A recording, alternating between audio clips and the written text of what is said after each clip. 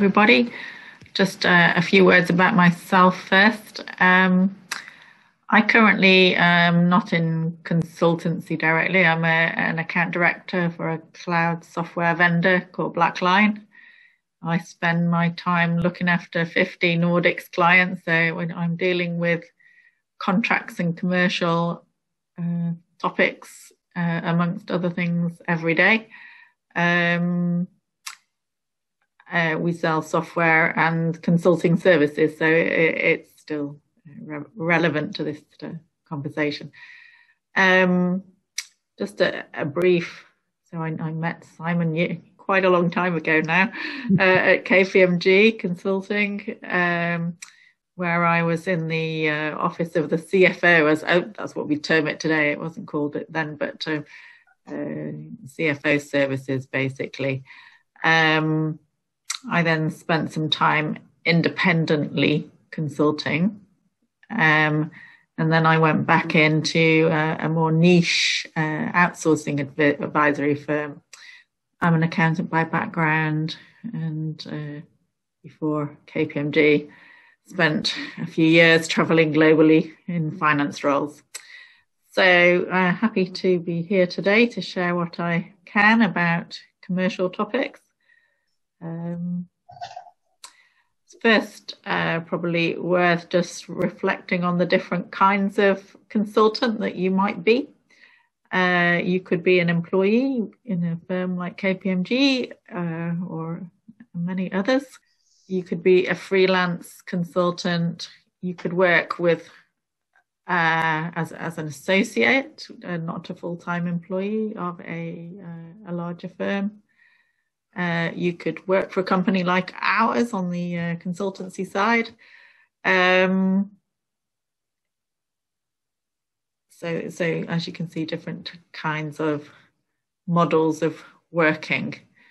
Um, just on what, what's the best one to do? Well, it, it's really up to you. Uh, there are advantages of being employed. There are advantages of being freelance. Um, as an employed consultant, you probably, in, certainly in the early parts of your career, have less uh, responsibilities around the contracting and commercial aspects of consulting. Um, as you go up through the ranks, you'll very much be selling, as we just heard, and uh, contracting and developing statements of work and ensuring that risks are managed and that you're going to get paid. So, uh, very much becomes your responsibility. Um, if you're freelance, uh, you really do have a lot of responsibility for all the commercial things uh, from uh, from an early stage. So uh, it's really depends on how you're working. Um, so you really need to um, reduce the level of effort, or, or should I say, have the level of effort you spend on non revenue generating activities. Uh, keep keep it proportional. Um, so you really need to qualify the opportunities that you work on uh, do you uh, understand the client's requirements? Um, is it something that you want to do? As Colin was uh, saying, do you want to do it? Is is it what you're good at? I, is it your sweet spot? And uh, have you got the track record in that particular uh, service? Um, perhaps you've got some particular resources or have developed a methodology uh, where you can uh, demonstrate credibility and capability. Um, are you likely to win? It's always uh, best to work with people who've hired you before because if, if they've worked with you before, you're more likely to be successful than if you're it's a new relationship and other people have a stronger relationship than yourself.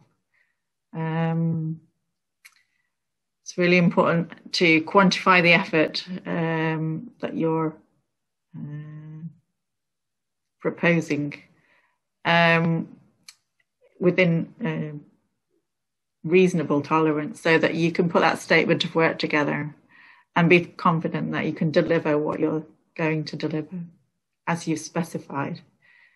Uh, but you also need to be thinking about the risks that you're taking on and whether you can mitigate those in your uh, contractual paperwork.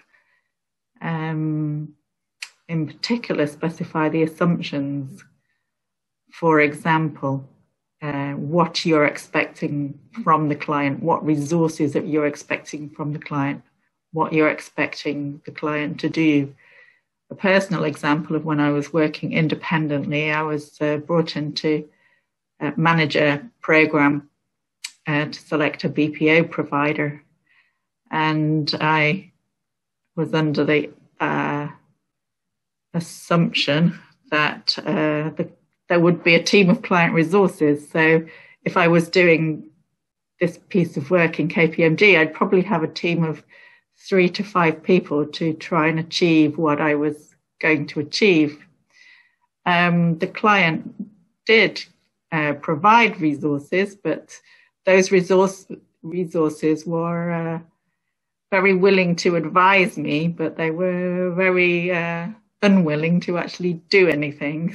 So uh, actually, I was left with quite an enormous task to try and deliver um, uh, this this piece of work with very little actually uh, sleeves rolled up effort from the client. So it was a very big learning point for me in the early days of my independent career.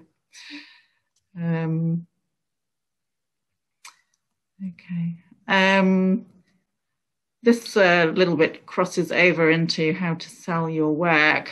Um, but I thought it's worth mentioning that to keep a lid on these uh, non revenue generating tasks, make sure you have multiple channels uh, to, to uh, sell your work. The best channel is your own network. Um, and so it's really important to maintain your network. Um, your network can also include uh, other consultants who also are marketing and have their networks. So if you collaborate, then you are much more able to find work uh, and also pull together teams of uh, complementary skills so you can sell interesting pieces of work with trusted colleagues, trusted contacts. Um, my current work with uh, Blackline, an American software company, has taught me the uh, uh, benefits of social selling. So, LinkedIn can be an enormously good resource. Um, for example, um, you can obviously work with uh, agencies and niche consultancies um, where you can sell your complementary skills. Um, when you're uh, qualifying the piece of work, it's a good idea to use some kind of uh, formalized process to to document uh, how you're qualifying an opportunity it's it's a best practice if you can get into the habit of that, and, and that's an example there. Miller Miller Heiman's blue sheet. Um, so, what about charging for your services? Uh, we had a question earlier about pricing, so maybe we could pick up that discussion here as well. Um, there are different pricing models, of course, um, time and materials, so, so day, day rate kind of pricing, fixed fee where you may quantify how much it would cost to deliver a particular phase of a project, for example, or a, a particular report, as Simon was mentioning. mentioning. Um, uh, there may be some kind of uh, contingency type fee is if you achieve this, you by uh, a certain date you may uh, be paid a, certain uh, contingency fee, for example. Um, so, so quite a different um, variety of ways that you can price. Um, it pricing, as, as was mentioned before, what is it? What is it that you're selling? Is it something that's very new, for example? Um, one of my ex KPMG colleagues has set up a consultancy around blockchain. So, for example, for the, you know, those, those skills are, are probably quite rare at this stage and hence higher value than something that's quite commodity. Uh, particularly say say around the type of work that I've been doing in the past, outsourcing, it's very commodity. There's a lot of people who can do outsourcing work these days. Um,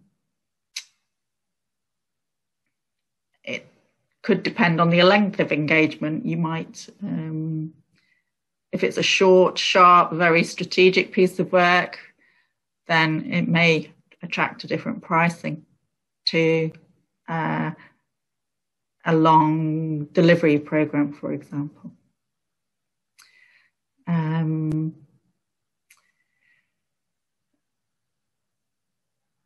don't forget to charge and build in your expenses. Make sure there's a contractual term for that, how you're charging it.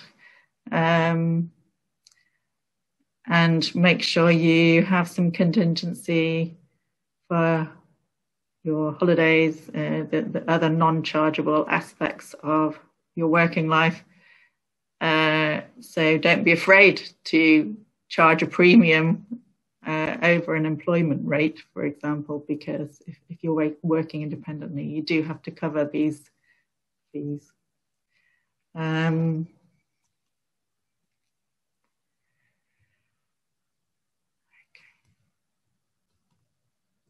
contracts, um, it's uh, yeah, it, your contract must be fit for purpose. Um,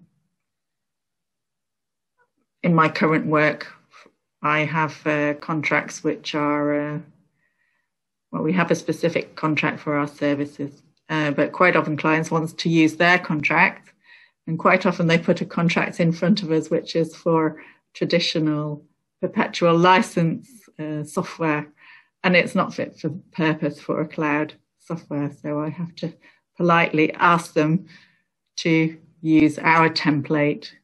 So try to have a standard template which is uh, suitable for your services.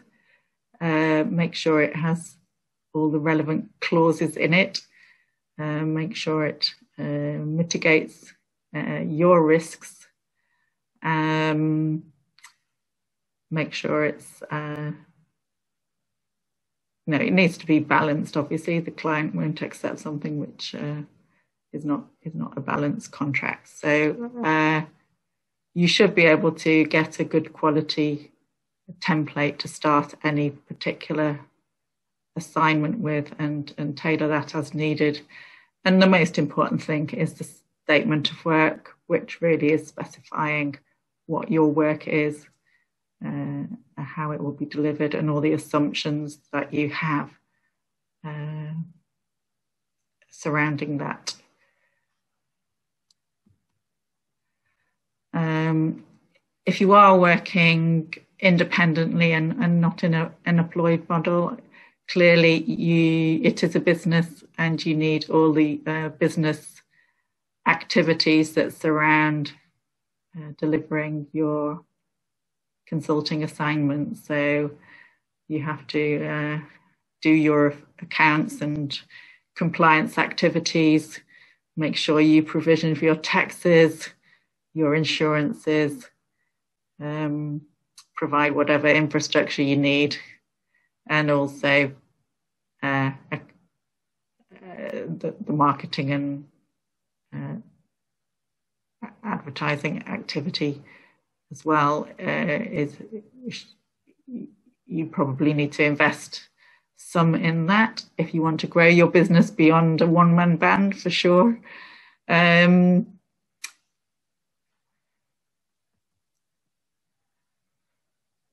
getting paid is clearly uh, important.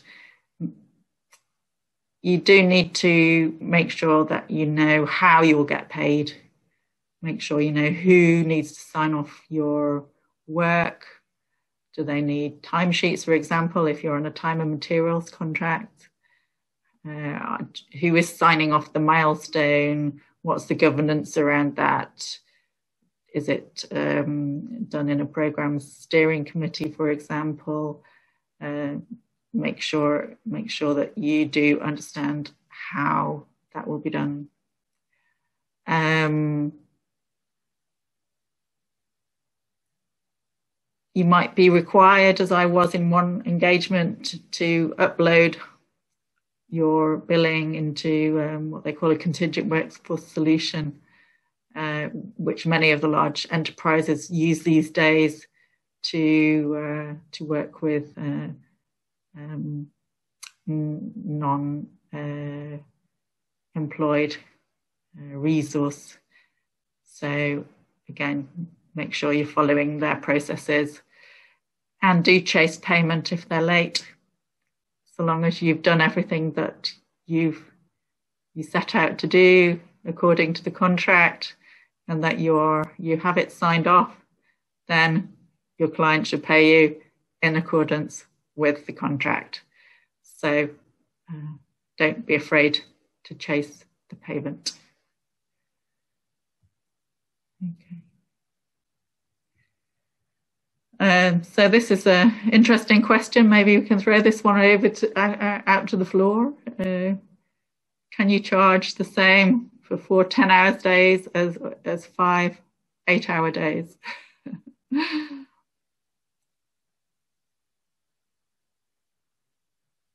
Anybody want to answer that one?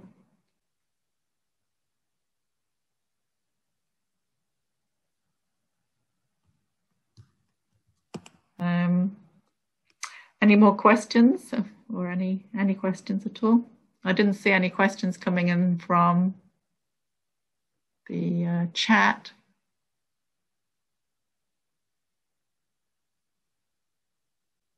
Well, Stephanie, perhaps one for myself. Do you notice differences between the public and the private sector in, in commerciality? That would be my, well, my first question. My second question would be thinking about the, the new normal, are you noticing or expecting anything to be different on commercial commerciality and consultancy as we come out of the uh, uh, COVID lockdowns and recessions? Um, public sector v private sector. I've I've had a little uh, experience of the public sector in my independent consulting days. Um, obviously they they have to follow the public sector procurement rules and processes. Um, actually, that's a good question. Has Brexit changed this? Because a lot of the rules, the OJEU rules, were driven by uh, European Union le- legislation. Perhaps uh, anyone, someone uh, could ask uh, answer that question. I um, I, I always thought that was the only advantage I could think of for Brexit that we didn't have to follow OJEU and public sector procurement rules. But in, in reality, what's happened is that the government uses that to buy anything they want without any kind of due process whatsoever. So it wasn't actually a good idea after all. Um, my partner actually uh, works for the health service, and um, they have some interesting uh, buying mechanisms. So I, I think it very much depends on which department you're working with and, and what processes they're following. Um, and the second question was around, um, sorry, could you remind me of the second question? Yeah, sorry, it was a kind of speculative question around do you, looking forward, do you think uh, commerciality in consultancy is changing? Uh, do you see do you see anything new uh, coming up as we come into the new normal? Um, as I, I work in the software industry now, so I'm not probably best placed to answer that. Colin, perhaps, do you have any thoughts on that?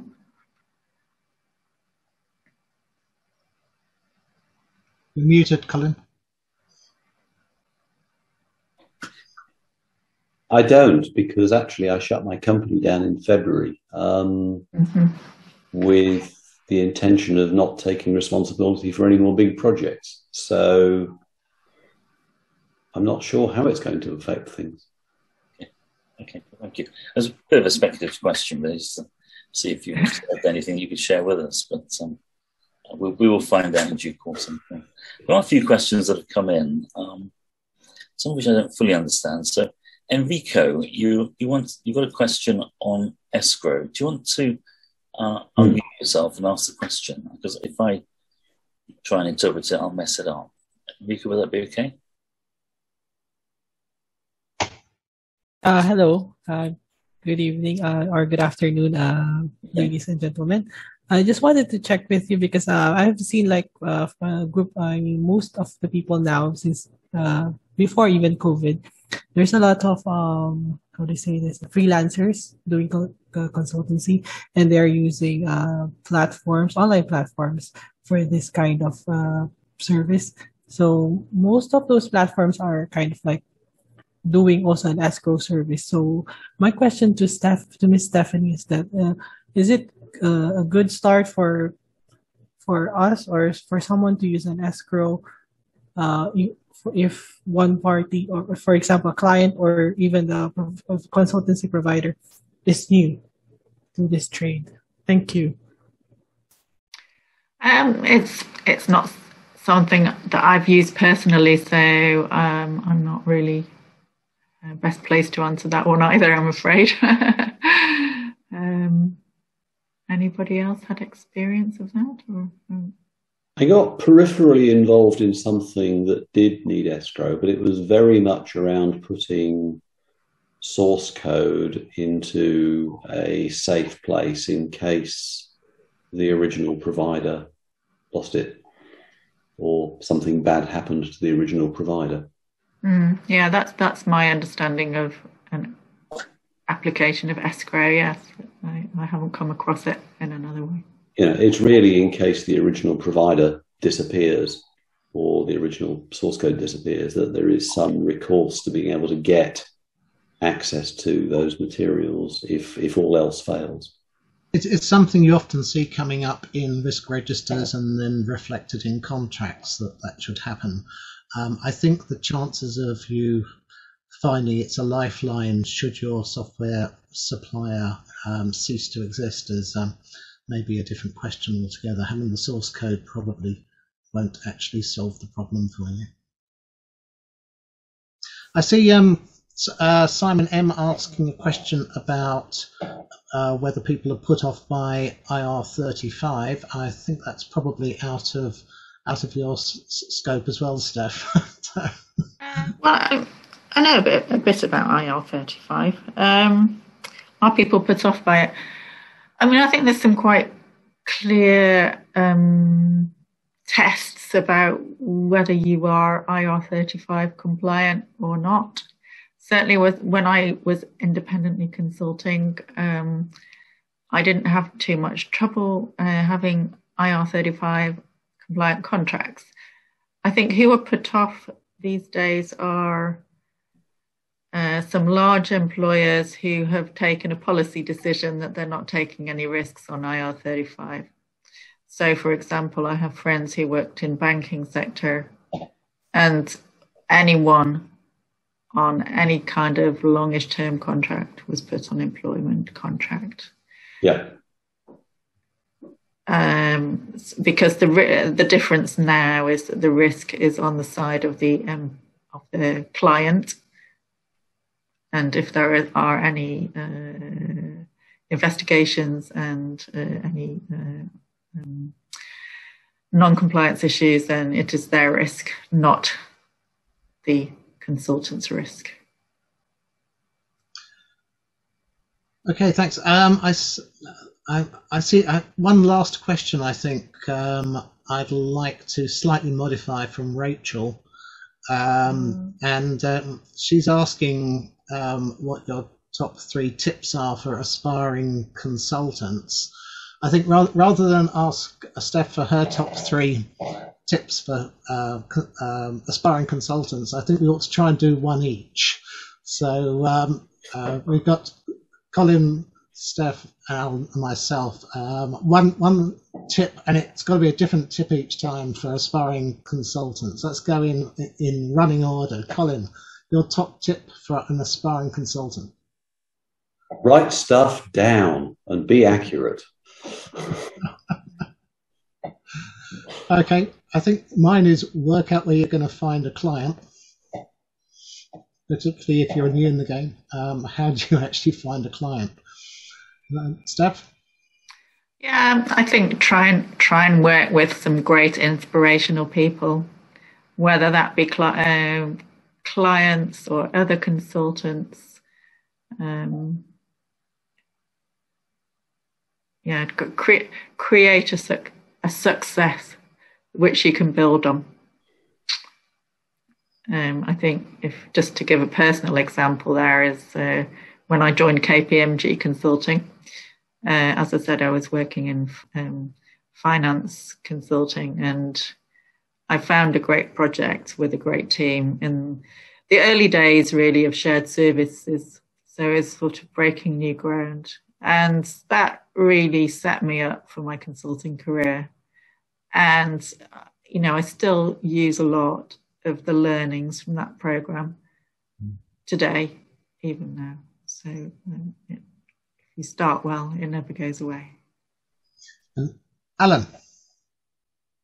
Yes. well, your my, my my tip. Your top tip. Yeah.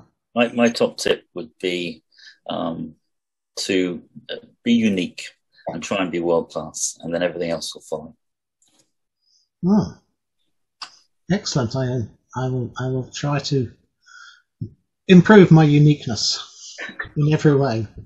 See, it's it's easy when you get to my age. You can be wacky, and people just think it's uh, because you're getting old. On which thought, uh, we should we should wrap up. Uh, we're uh, over time now, but uh, it's been a great talk, and I've uh, enjoyed listening to the, the other speakers. And